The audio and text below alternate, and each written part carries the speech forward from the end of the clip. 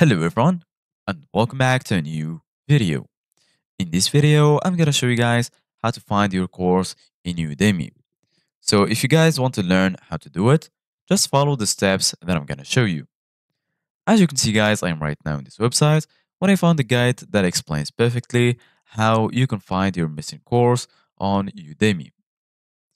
If you've enrolled in a course and it's not located in the My Learning section, of your Udemy account, this article explains the most common reasons for this and how you can find your course. Reviewing recent purchase attempts at udemy.com to find your missing course. If you recently attempted to purchase a course while accessing udemy.com on a browser but don't see the uh, course in your My Learning section, please follow the steps below. Firstly, confirm whether the purchase was successful. Check that you received a confirmation email for the course purchase. A confirmation email from Udemy at email.udemy.com will be sent to the email address registered to your Udemy account when you successfully purchase a course. Be sure to also check your junk mail folder. Check your banking information.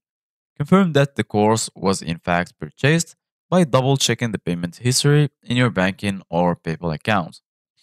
If you don't see a confirmation email in the email account you were expecting to see it, and there is no record of the purchase in your banking information, this very likely indicates the purchase was not successful. And lastly, finding courses you previously started or confirmed were in your Udemy account.